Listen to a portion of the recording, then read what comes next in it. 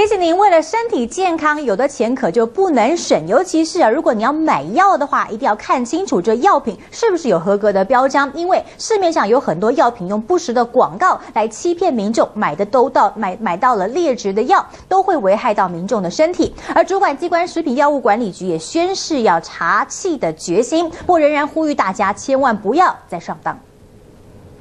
重达一百七十九公斤的禁药、眼药水、万金油、保肝药跟胃肠药，通通都有。为了节省成本，假冒的鱼油内竟然装的是沙拉油，吃下肚恐怕越吃越肥。来路不明的药品和劣质胃药经常出现在新闻版面，但仍有民众不断上当受骗。呃，从呃三月开始哈，呃，就是抓到的那个。呃，一个案子呢，呃，大概是去年的大概四倍呃之多了，七百三十万颗了哈，那个一个伪劣药。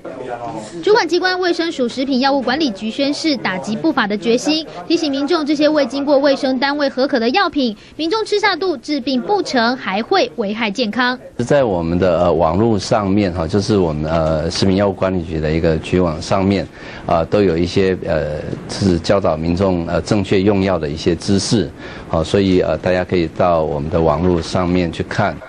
至于贩卖胃药以及从事不实广告的不法之徒，也不要心存侥幸，相关罚则轻则罚款，重则涉及刑责，千万不要以身试法。中天新闻台北综合报道。